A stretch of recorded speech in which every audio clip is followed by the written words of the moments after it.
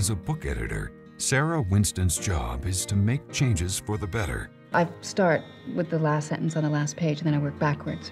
And that way I can just focus on the punctuation or not get distracted.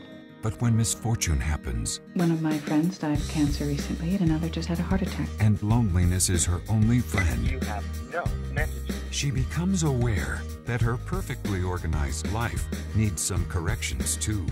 Do you know where the group meets? I think it might be a Bible study. Charlie, alcoholic. Someone new. Sarah. Charlie. While pretending to be an alcoholic, she finds a new family and learns to overcome her own problems. I wanna get to know you. Let's waste some time today. I've got I'm thinking about getting her a ring. What kind of a ring? And I don't care what Be careful, Dad. Why won't you trust me, Sarah?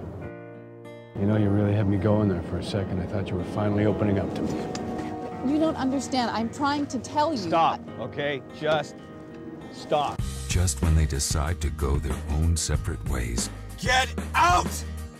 tragedy hits. What are you doing here? Taking care of you. And Sarah faces up to her truth. My name is Sarah, and I'm not an alcoholic. What do we do now? Jennifer Beals, Peter Outerbridge. My name is Sarah.